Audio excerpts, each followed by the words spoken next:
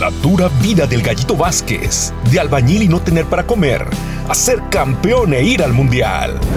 Era muy, muy triste, yo creo que el no tener que vestir, el no comer, yo creo que eran, eran momentos, situaciones muy difíciles y, y tristes.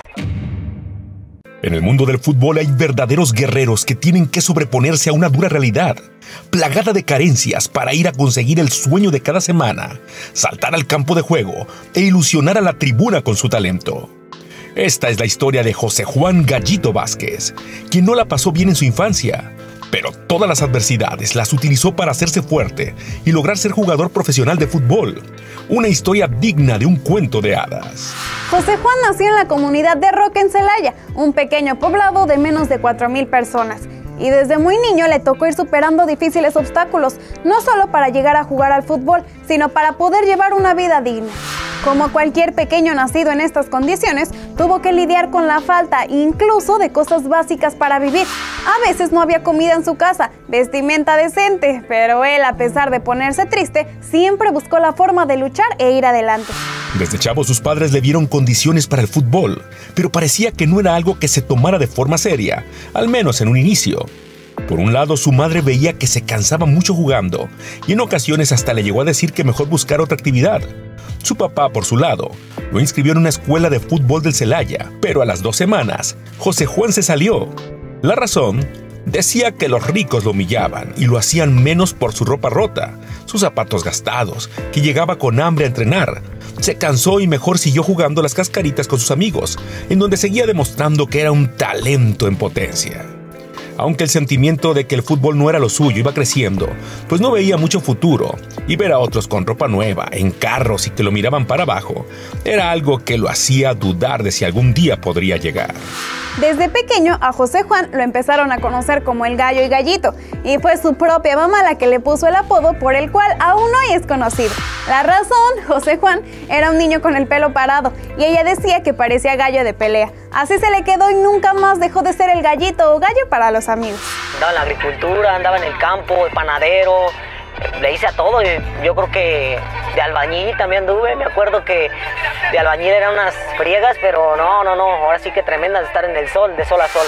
Como todo niño de su condición social, desde pequeño tuvo que buscar empleo para poder ganarse el pan de cada día. Fue ayudante de su padre, que era enterrador en el cementerio local. Además de laborar en el campo, hacerla de panadero y hasta albañil. Hubo un momento de su vida crucial en el que tuvo que tomar la decisión más importante de su vida. Su hermano se cruzó a los Estados Unidos buscando una vida mejor. Una noche le dijo a Gallito, ¿vas o te quedas? Vázquez no veía mucho futuro en México y se lo pensó seriamente. Al final decidió rifársela y quedarse en casa, apostando a ganar algo de dinero gracias al fútbol. Gallo lo ha dicho, si no fuera futbolista, seguramente hoy viviría en los Estados Unidos. A los 19 años ya empezaba a dar chispazos en categorías formativas, jugando en equipos de tercera como el Atlético San Francisco, Atlético Comonfort, Cuervos Negros de Zapotlanejo y América Manzanillo. En ese entonces era delantero y hasta ganó un par de trofeos de campeón de goleo. Pero su gran problema es que a pesar de que en lo deportivo mostraba su calidad, en lo económico no le iba nada bien. Incluso muchas veces le fallaron con las promesas de que le darían un sueldo y esto lo llevó a la completa desesperación y decepción. Después de tantas falsas promesas, al final la vida le sonrió. El Celaya lo llamó y ahí jugó en el equipo que ascendió de segunda a la Liga de Ascenso. Su calidad llamó la atención de Gustavo Matosas, que a finales de 2011 lo llamó para reforzar a su León. Con los Panzas Verdes, José Juan se convirtió en uno de los mejores mediocampistas del fútbol mexicano. En 2012 logró ascender a primera con León. De ahí fue fundamental en el bicampeonato que obtuvo la fiera. Como de cuento de hadas, de la noche a la mañana, ese pequeño niño que batallaba para comer, que no veía futuro claro en el fútbol, pasó en tres años, del 2011 a 2014, a ser futbolista de primera, campeón de liga y a disputar el Mundial de Brasil de 2014 con la selección mexicana. Es muy recordado su emotivo llanto y emoción al ver su convocatoria al tricolor Y mejor aún, en Brasil 2014 fue pieza fundamental de los verdes, al grado que llamó la atención de clubes europeos, aunque al final nada se concretó. Hay quien dice que por la ausencia de Gallito por suspensión al acumular dos amarillas en la ronda de grupos, México perdió contra Holanda en los octavos, pues era el alma y motor de ese equipo. Gambeteros, antes de conocer el desenlace de esta historia, no olviden suscribirse a nuestro canal, dejarnos sus comentarios y seguirnos en todas nuestras redes sociales. Su carrera en México siguió siendo de mucho respeto y éxito. Siempre humilde, sencillo, que no ha olvidado de dónde salió.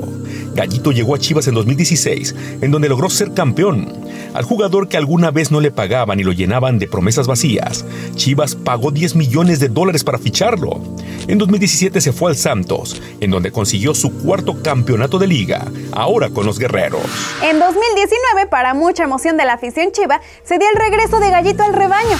Esta segunda etapa no fue la mejor para Vázquez, quien no veía muchos minutos en la cancha y al final salió por la puerta de atrás después de que al estar involucrado en una indisciplina fue separado del plantel de Chivas de forma definitiva. Toluca no dudó y se llevó al experimentado jugador a sus filas. La del gallito es sin duda una historia inspiradora, de levantarse a pesar de las adversidades y carencias. Él mismo ha dicho que parte de su éxito se debe a que él siempre se ha mantenido humilde, sabe de dónde salió y lo que batalló para ser profesional. El consejo de su padre siempre fue el de que no se le subiera la fama a la cabeza y que se acordara de esos que alguna vez lo hicieron menos, para que él no fuera a ser igual. Gallito no guarda rencor y sigue muy apegado a su casa, a la comunidad de Roque, en donde seguido se le ve conviviendo como uno más.